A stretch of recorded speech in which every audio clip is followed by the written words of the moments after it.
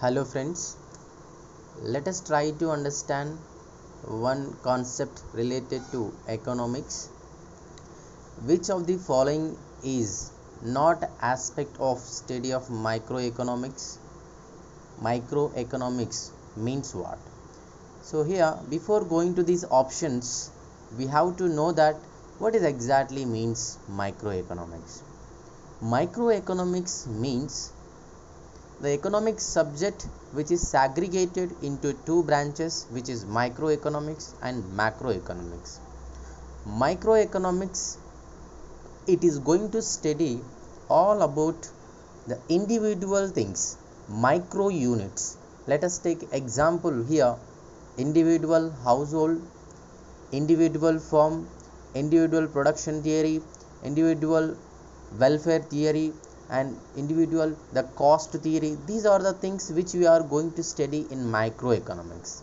Coming to the macroeconomics all aggregates overall economy if you are going to study that comes under macroeconomics. So here the question related to microeconomics. Which of the following is not an aspect of study of microeconomics? Means which is which are out of these four options which is not comes under microeconomics. So here four option. What are the four options? Let us see here. Theory of production.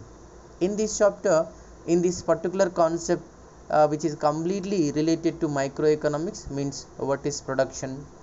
How much uh, what kind of factors need to use? The production function. These are all comes under microeconomics.